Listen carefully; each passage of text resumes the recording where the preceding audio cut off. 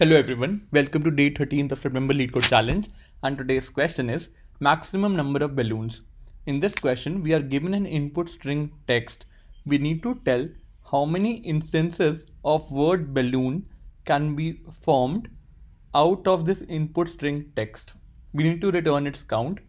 There's a constraint that is given in the question. You can use each character in the input string at most once. That means if you have contributed a particular character to a particular instance of balloon, you can't reuse it. So without much ado, let's try and look at the PPT. Although I feel you guys won't be needing it, it's a pretty simple and straightforward question. But for the sake of consistency, I'm making this video for you. Maximum number of balloons, LeetCode 1189.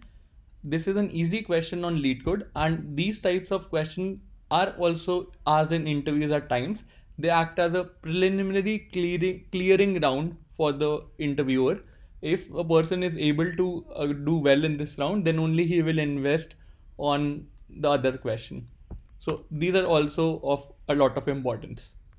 Here, the input string that is given to us is L O O N B A L X B A L L P O O N.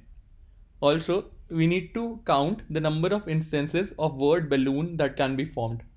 So how many different characters are there in this word balloon?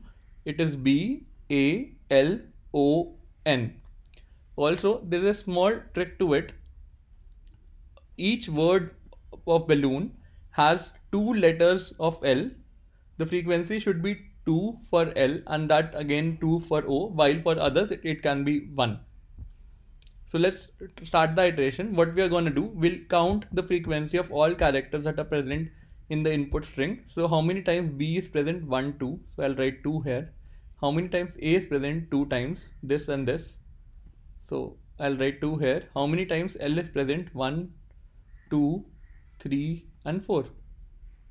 So I'll write 4 here. Next I have O. How many times O is present? 1, 2, 3, 4. So I'll write 4 here. How many times n is present? n is present one time. This is the second time. So I'll write 2 here. So how will I conclude now? There is a factor of 2 for L and that of O that for every two instances of L, one string of balloon can be formed. So what we should do? We should divide the frequency of L that we have calculated so far by 2 so as to normalize it. Again, similarly, we will divide the frequency of O by 2 so as to normalize it. Now we'll start the iteration across the frequency array and we'll pick the one which has the minimum value.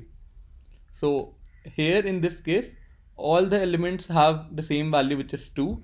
So the minimum one will be again 2 in this case. However, there could be cases where uh, the minimum value is something else, 1 or 0, then uh, that will become our answer. So the answer for this case is 2 and you just need to find out the minimum one. I hope you got the context. Without much ado, let's look at the coding section. Firstly, I create a frequency array of size 26. I iterate over each character of the input string text and I update the frequency array. Next, I go ahead and create the new array for the balloon string and balloon has how many how many different characters B A L O N. So over these characters I need to iterate and find out the minimum value.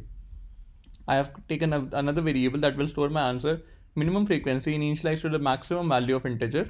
I start the iteration and in case I find out that the current element happens to be L or O, I reduce the frequency by a factor of 2.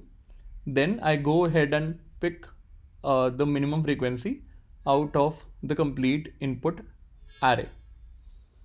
Once I'm done with this loop, I compare it with the maximum value. If it still happens to be the maximum value, that means uh, the answer does not exist and I simply return 0. Otherwise, I return the minimum frequency that was present in the frequency array. The time complexity for this approach is the length of the input string and the space complexity is constant because we are using a fixed set of array for calculating the frequency. I hope you enjoyed today's session. If you did, Please don't forget to like, share and subscribe to the channel. Thanks for viewing it and have a great day ahead. I'll see you tomorrow with another fresh question on LeetCode. till then goodbye and guys uh, there's something interesting that is coming up you will see that video very soon